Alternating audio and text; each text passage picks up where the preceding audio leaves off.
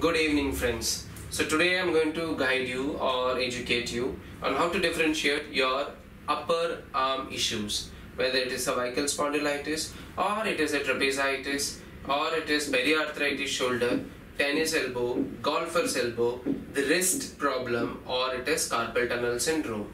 We, you should know how to differentiate it before your doctor start treating it. Okay, now cervical spondylitis, cervical spondylitis or anything related to the disc in the nerve, disc and the nerve, when you perform a chin tuck, when you perform a chin tuck, if there is any pain which radiates down, it means the cervical spine is involved. So the second thing is, if your movements are restricted, even the slightest of the movements gives you a tremendous pain, then it is a problem related to disc. Now, the second thing is, if you turn your head extremely to right and left, and only in the end range it is paining, then it is a problem with your trapezius muscle, or we call this in trapezitis. The third thing comes is the frozen shoulder. Frozen shoulder is the last stage of the shoulder problem.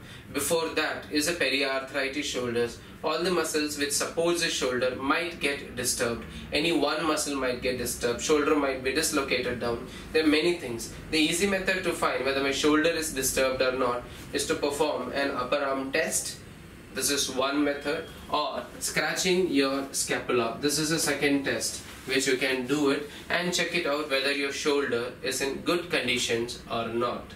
The shoulder neck the trapezius. Now coming to the tennis elbow issues. When you down the wrist and try to lift the wrist with resistance if there is a pain then it is a tennis elbow issues. Similarly if you keep your hand this way and try to lift your hand up with the resistance and if there is a pain here then it is golfer's elbow.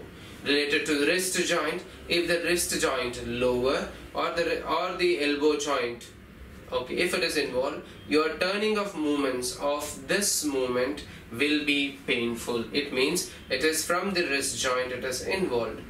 If it is a carpal tunnel syndrome keeping your hand bent for certain period of time let's say one minute half a minute will make all the fingers numb and you have to just move your fingers or keep the object down so that you can get rid of the pain. So this will be carpal tunnel syndromes. Every treatment the managements are different. Cervical spondylitis is different. Trapezitis is different. Periarthritis is different. Frozen shoulder is different. Tennis elbow is different. Golfers is different the wrist joint is different and the carpal tunnel syndrome is different. So make sure you know what you are being treated by your doctors. Thank you very much for giving me an opportunity. Please subscribe to my channel so that you can see continuous videos. Thank you